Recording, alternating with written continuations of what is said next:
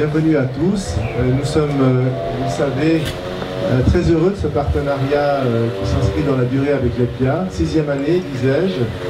Nous en sommes très heureux parce que nous sommes convaincus que les, les, espaces publics, les aménagements extérieurs, comme on les appelle, méritent le soin et le savoir-faire de jeunes créatifs et bénéficiant d'une bonne formation comme vous, étudiant de, l'EPIA. Euh, cette discipline est importante, elle pourrait peut-être être encore plus valorisée auprès du public, euh, c'est-à-dire que aujourd'hui dans le domaine de l'architecture, il y a un système de star system, de star architecte. Je crois que ce n'est pas encore le cas dans le domaine de l'architecture paysagère et pourtant c'est aussi important. L'être humain a non seulement besoin d'immeubles dans lesquels vivre et travailler. Il a aussi besoin d'espaces euh, publics ou semi-privés, euh, euh, d'espaces verts, d'espaces de délassement, d'espaces d'échanges sociaux où s'épanouir.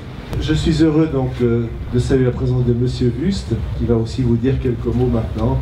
Merci. Bonjour mesdames et messieurs, bonjour chers étudiants.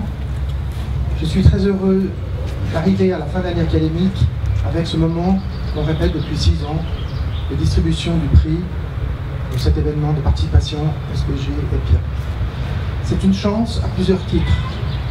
D'abord pour l'EPIA, d'avoir l'occasion de travailler sur un projet concret de manière pluridisciplinaire en mélangeant des jeunes architectes et des jeunes architectes paysagistes. Puisque dans la pratique professionnelle, nous devrons répéter ce type d'exercice pour aménager les espaces publics qui sont tant attendus à Genève, qui est une ville en train de se densifier toujours plus.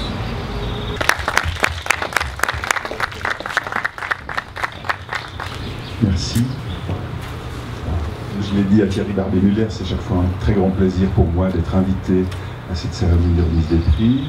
Euh, j'aime beaucoup le travail de l'EPIA, la manière dont elle se développe euh, justement de manière transdisciplinaire, comme l'a dit Frédéric le fait que sa qualité augmente chaque année, la qualité des diplômes augmente très nettement chaque année, et surtout le partenariat avec euh, une entreprise immobilière active sur la place depuis longtemps.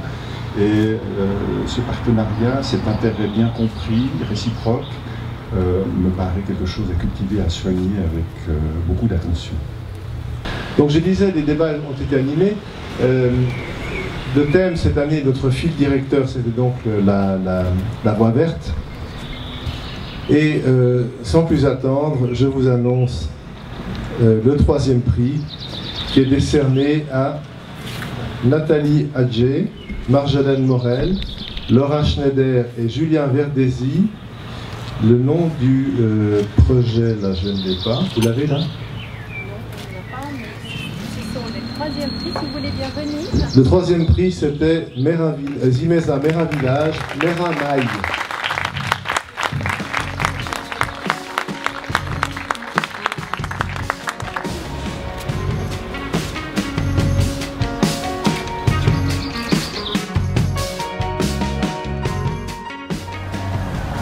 Donc euh, le projet que nous avons choisi se situe à Mérin, nous l'avons appelé Mérin Maille. Donc cet espace nous a intéressés parce que c'est une zone en complète mutation qui a à la fois des industries, un nouveau campus qui s'y construit. Il y a également le vieux Mérin. Il y a des écoquartiers qui se construisent à proximité. Et donc ce qui nous a intéressés, c'est de travailler dans ce tissu très divers et très hétérogène. Et donc nous avons travaillé la connexion du vieux Mérin jusqu'à la gare de la Zimeza, de manière à traverser un peu l'ensemble de ces quartiers et ça nous a permis de travailler des connexions euh, entre tous les quartiers sur euh, trois axes principalement, et puis des connexions transversales entre les trois axes, de manière à créer un véritable maillage euh, au niveau de Mérin. Deuxième prix a été attribué, euh, le groupe 2, qui a présenté un projet qui s'appelle le fil d'Ariane dans le quartier Eau-Vive, rue Agasse.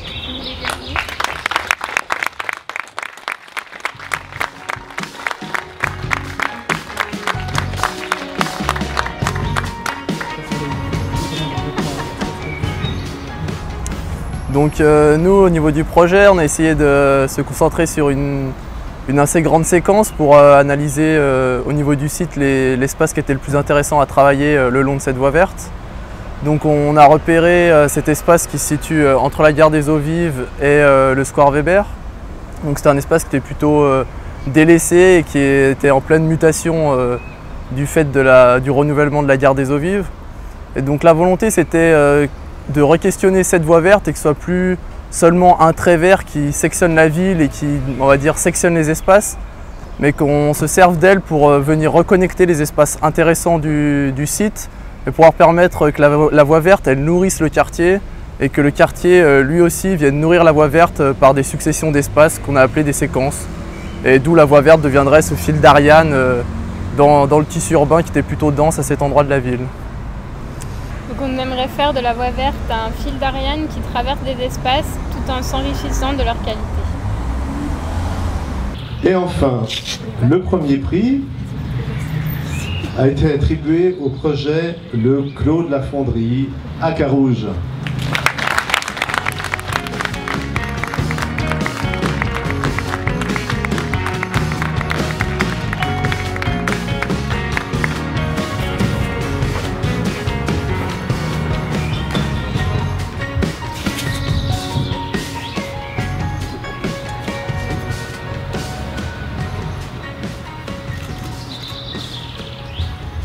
Oui, ce qui nous a, ce qui nous a frappé euh, et qui a rendu les discussions très intenses, euh, c'était que euh, le but, c'est que ces projets soient tout à la fois inventifs, qu'ils apportent une valeur ajoutée, et puis, dans la mesure du possible, qu'ils soient poétiques, mais qu'ils soient en même temps réalisables.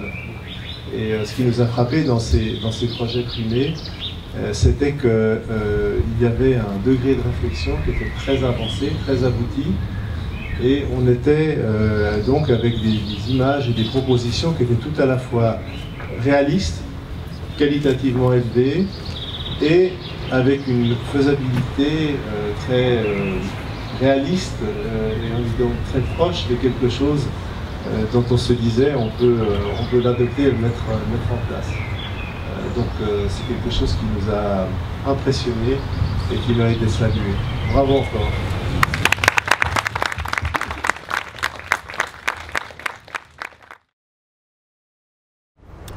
Euh, suite au thème de la voie verte d'agglomération et du thème des playgrounds, nous sommes euh, attachés au site du Clos de la Fonderie qui se trouve à proximité de Carouge, donc notamment du vieux Carouge. ça se trouve le long de la voie verte d'agglomération. Donc c'est un quartier artisanal qui est en mutation euh, actuellement, avec notamment des bureaux de graphistes ou d'architectes qui commencent à utiliser ces, anciens bâtiments de l'artisanat. Donc le, concept de base a été de, proposer une réaffectation des bâtiments. Donc il y a eu un travail de, relever des rez-de-chaussée pour euh, justement définir toutes ces activités qui pourraient euh, changer par la suite. Et ensuite de définir donc un axe interne au quartier qui pourrait proposer une circulation piétonne principalement, de mobilité douce plus générale, euh, afin de traverser ce quartier et de venir marquer des arrêts, notamment avec euh, des jardins thérapeutiques qui se lieront aux activités euh, médicales des bâtiments à l'entrée de, ce quartier, ou encore artistiques avec des anciens ateliers qui pourraient devenir ateliers d'artistes justement avec des expositions temporaires ou autres. Donc proposer des nouvelles activités pour un quartier qui, qui, en demande finalement, qui, est vraiment en devenir, et travailler sur l'eau, d'où le clos de la fonderie, par la présence d'un ancien canal qui a vraiment guidé notre travail au long de ce semestre. Et euh, notamment avec une récupération des eaux qui se fait avec des, dépressions d'un revêtement qui est assez modulable, euh, avec un rappel de l'eau le plus présent possible, le plus possible euh, au fil de, cette circulation interne, notamment avec des bassins ou simplement un fil d'eau, afin de, récolter ces eaux et de, rattacher le thème du playground à, cette eau avec notamment des jeux qui pourront venir avec des, jeux de pompe ou simplement euh, en forme de pataugeoire, venir agrémenter euh, ce quartier. Et pour finir, le côté euh, qui répondra plus à la part du logement avec des noues paysagères qui viendront alimenter des jardins familiaux. Donc avoir un, côté beaucoup plus libre de l'eau, avoir un, gradient de l'eau qui va du côté très urbain avec les fontaines à un côté beaucoup plus naturel qui correspondra plus au logement pour avoir une appropriation plus facile de l'habitant.